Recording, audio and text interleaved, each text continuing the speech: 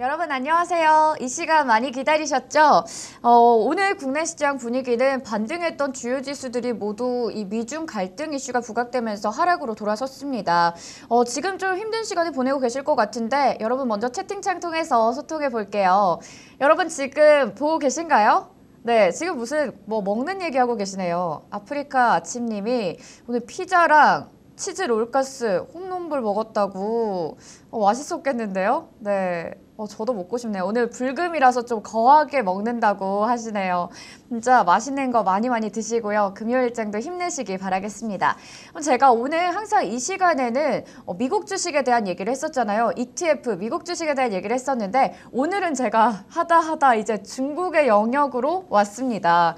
그동안 정말 이 미국 ETF 관련된 얘기를 좀 했었는데 오늘은 여러분한테 달러를 가지고 중국에 투자하는 방법을 알려드리려고 해요.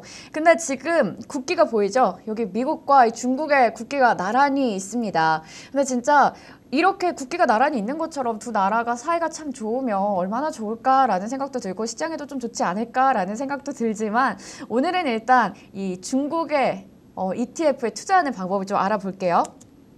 먼저 그 전에 ETF라는 거에 대해서 먼저 간단하게 또 알아볼게요. 여러분 다 알고 계신 부분도 있겠지만 ETF가 Exchange Traded Fund죠. 상장 지수 펀드로 국문으로 하면 한국말로는 이렇게 상장 지수 펀드라고 말할 수 있고요. 일반 주식과 동일하게 HTS랑 홈페이지에서 시세랑 시세를 조회하고 거래도 가능해요. 그리고 환매 수수료가 없이 일반 주식하고 동일하게 거래가 가능한데요. 이 환매 주식이라는 거는 먼저 이 환매 수수료라는 거는 어, 투자 신탁을 중도에 해약할 때 투자자가 증권회사에 내는 일종의 수수료 같은 건데 그게 지금 없이 일반 주식하고 동일하게 거래가 가능하다는 점을 볼 수 있습니다. 미국에 상장된 ETF가 무려 어, 약 2,300개예요. 그러니까 제가 매주 이 시간마다 ETF를 소개해도 소개해도 끝이 없었던 거죠. 너무 많으니까. 어, 시가총액 같은 경우에는 약 3조 9천억 원 달러로 돼 있고요. 기초 자산이 다양하기 때문에 유동성 역시 활발하다고 볼 수 있습니다. 자, 오늘은 중국 ETF의 주요 포인트를 볼 텐데요. 다양한 국가를 기초자산으로 한 ETF가 상장이 돼 있고 정방향, 역방향에 투자할 수 있는 ETF가 있는데요. 어, ETF 같은 경우에 이렇게 다양하다라는 말을 했는데 오늘은 중국에 좀 초점을 맞춰보기로 했잖아요. 이 중국을 기초자산으로 한 미국 상장 ETF 예시들이 있습니다. 역시 중국 ETF도 여러 가지 종목들이 있겠지만 여기 지금 대표적인 종목들이 나와 있는데요. 어, 중국 예를 들어서 보면 지금 중국 이 본토에 상장된 주식보다는 홍콩이나 미국에 상장된 주식이 중국 주식이 외국인인 우리가 좀 접근할 수 있는 게 좀 편하다고 하더라고요.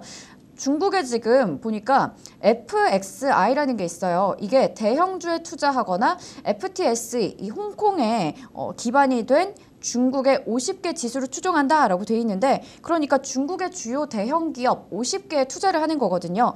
어, 주로 텐센트나 차이나 모바일 좀 들어본 기업들이 있어요. 뱅크 오브 차이나 중국 석유공사 그리고 건설은행이나 공상은행 같은 이 중국의 상위 은행들 또 평안보험 같은 상위 보험 업종들이 좀 속해 있는 걸 확인할 수 있습니다. 혹시 여러분들 중국 주식도 투자하고 계신 분들 계신가요? 채팅창에 만약에 좀 계시면 저보다 훨씬 더 많이 아실 것 같아서 중국 주식도 내가 안다 하는 분들은 채팅창에 좀 남겨주시면 제가 또 얘기해 보겠습니다. 또 아름답다고 주타이밍님께서 얘기해 주셨는데 감사합니다. 어, 네온사인님이 항생테크 얘기를 해주셨어요. 지금 이 시간 여러분 좀 보면서 어, 미국 주식에 대한 정보도 얻으면 좋고 중국 주식에 대한 정보도 오늘 얻어가시면 좋을 것 같습니다. 자 그러면 제가 이렇게 중국 ETF에 대해서 간략하게 또 알려드렸는데 영웅은 글로벌에서 중국 주식, 중국 ETF를 어떻게 찾는지 알아봐야 되잖아요. 화면 번호가 2200으로 들어가시면 돼요. 2200번으로 들어가시면 해외 ETF 중국뿐만 아니라 다 같이 볼 수가 있는데요. 여기서 어, 주식에 들어가시면 중국이 있습니다. 이 중국을 누르시면 중국 주식들을 한눈에 확인해 볼 수가 있고요. 어, 또 지금 채팅을 많이 올려주시네요. 어, 김레전드님이 중국 주식 몰라요 하시는데 저도 잘 모르는데 오늘 이 시간 통해서 좀 배워가고 있거든요. 또 아프리카의 아침님이 어, 네 제가 지금 감기가 붙은 것 같다라고 하는데 네, 제가 날씨가 너무 춥기도 하고 어제 비가 좀 많이 내렸잖아요. 비를 좀 맞았는데 감기가 걸렸나 봐요. 그래서 조금 전에 약을 먹었더니 약간 해롱해롱하네요. 어, 이렇게 저희가 주식, 중국 주식 ETF에 대해서 좀 알아봤는데 먼저 유의사항까지 여러분 체크하시면 좋을 것 같습니다. 자, 그러면 제가 아까 얘기했던 것 중에 중국 본토에 상장돼 있는 중국 주식보다는 홍콩이나 미국에 상장돼 있는 중국 주식이 아무래도 외국인이 우리가 투자하기에는 좀 더 쉽다라고 얘기를 했었는데요. 바로 이 중국 주식이 미국에 상장될 때 ADR을 통해서 상장된다고 합니다. ADR이 뭔지 한번 볼게요.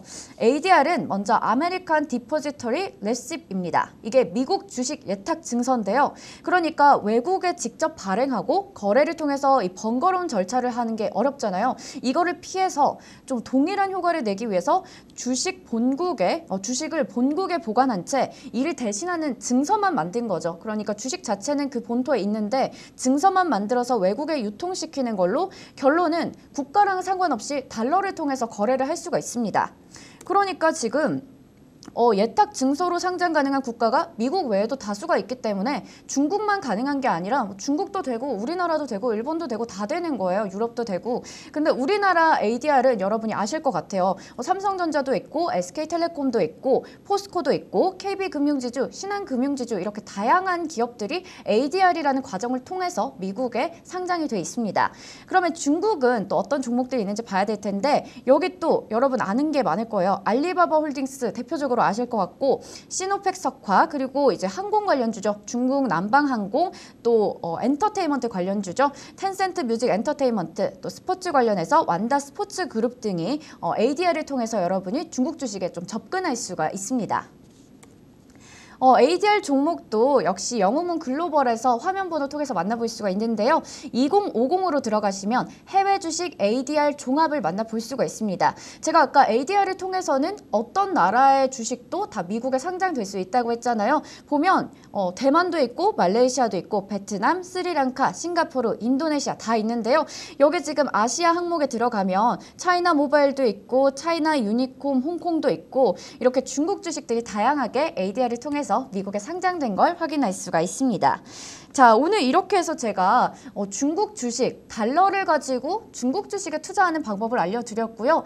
또 이제 중국의 본토에 상장된 거 말고도 홍콩이나 미국에 중국 주식이 상장됐을 때 우리가 접근하긴 더 유, 용이하다. 그래서 이 ADR이라는 과정을 통해서 미국 주식에 상장이 될 수 있는데 이 점들을 제가 체크를 해드렸는데 좀 도움이 되셨을까 모르겠습니다. 채팅창 통해서 얘기 좀 들어볼게요.